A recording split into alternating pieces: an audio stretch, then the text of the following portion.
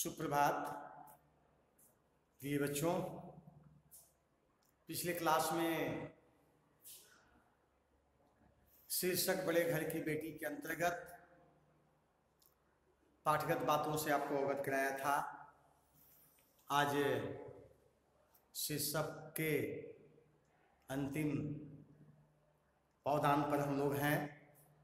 पाठगत में जो बातें इसमें लिखी गई हैं। उसके संदर्भ की चर्चा हम करते हैं। पिछले क्लास में हम लोगों ने देखा था कि लाल बिहारी और उसकी भाभी के बीच में जो वार्तालाप हो रही है, उसे आनंदी और लाल बिहारी दोनों अपने किए पर व्यथित हैं, पीड़ित हैं।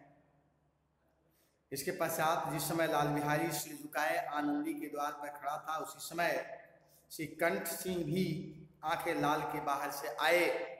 भाई ने देखा तो घृणा से आँखें फेर ली और कतरा कर निकल गए। मानो उसकी परछाई से दूर भागना चाहते हैं।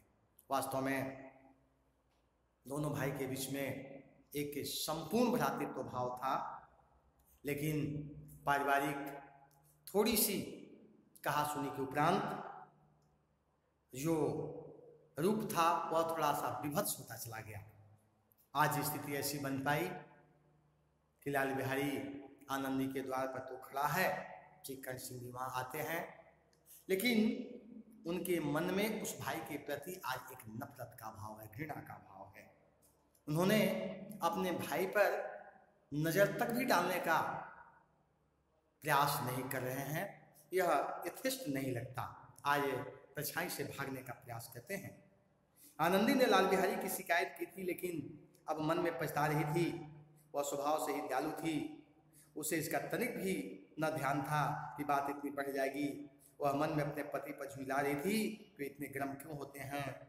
जब उसने लाल बिहारी के दरवाजे पर खड़े, यह कहते सुना कि अब मैं जाता हूँ, मुझसे जो कुछ हुआ क्षमा करना तो उसका रहा सा क्रोधित पानी हो गया। वह रोने लगी, मन का मैल धोने के लिए नैल जल से उपयुक्त कोई वस्तु नहीं है। आनंदी, लाल बिहारी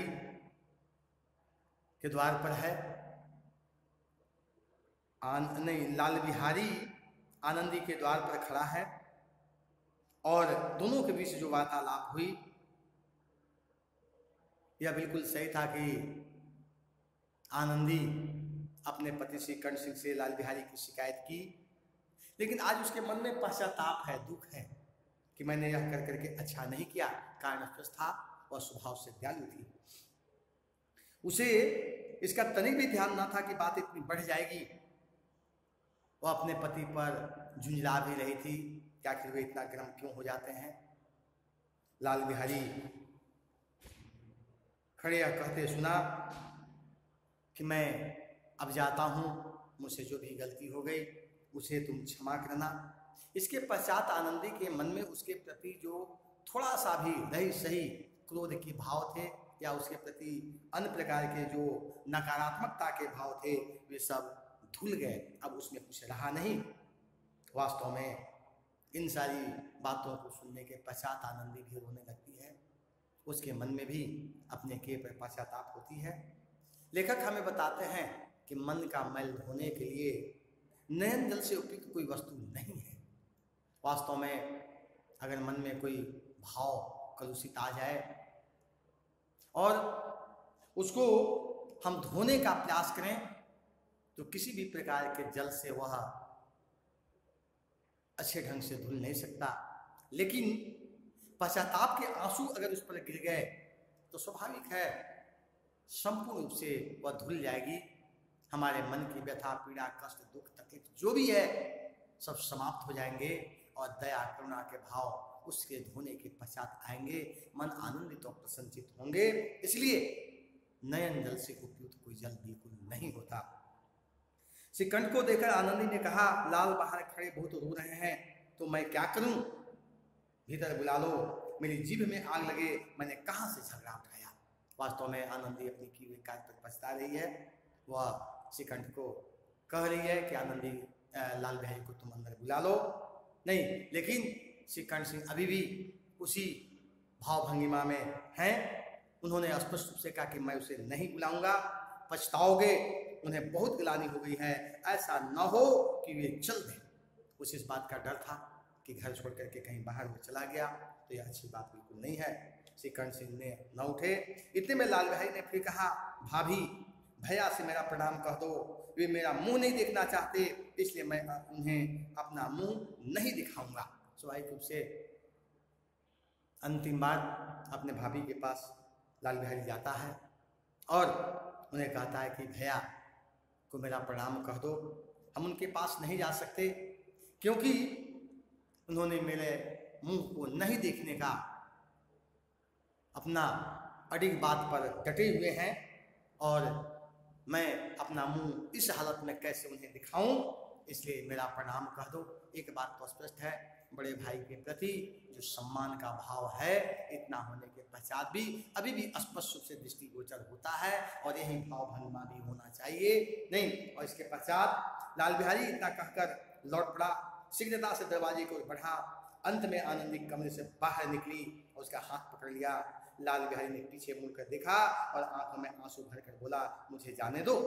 स्वाभाविक रूप से लाल बिहारी तीव्रता के साथ घर से बाहर जाने ही वाला था कि आनंदी लपक करके उसके हाथ को पकड़ लेती है।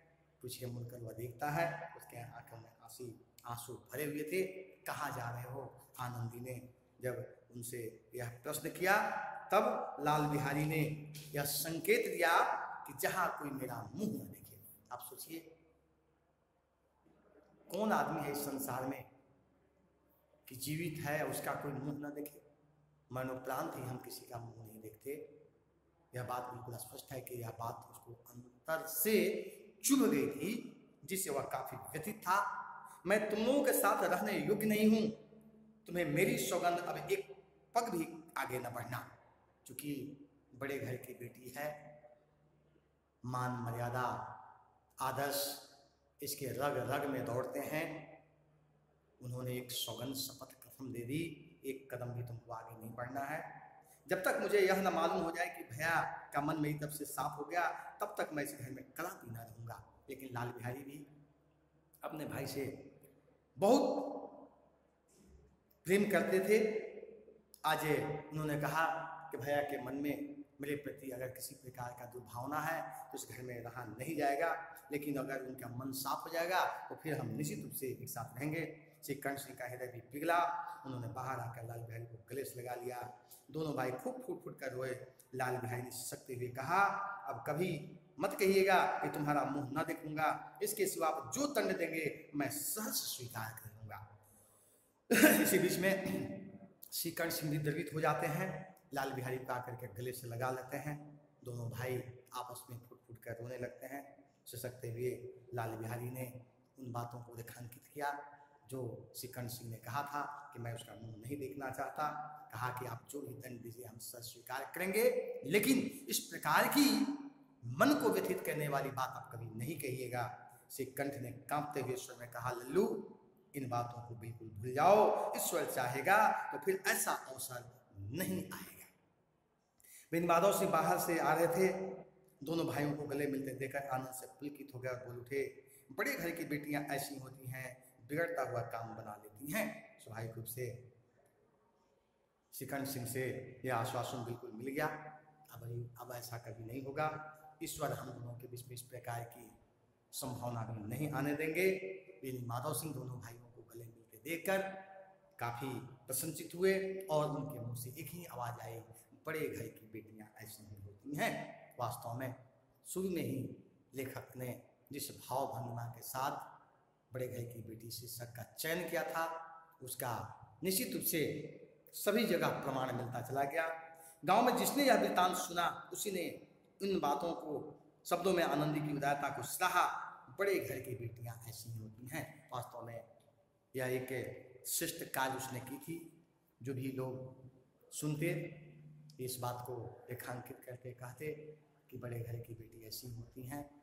और आनंदी वास्तव में बड़े घर की होने का प्रमाण हर जगह प्रस्तुत कर करके यह एक शिक्षा दी है कि परिवार में, समाज में अगर कोई इस प्रकार का व्यवहार आचरण करे तो हर हाल में पूरा का पूरा घर परिवार सुख समृद्धि शांति से भर जाएगा। तो आज के लिए इतना ही। इसके पश्चात आपको बहुत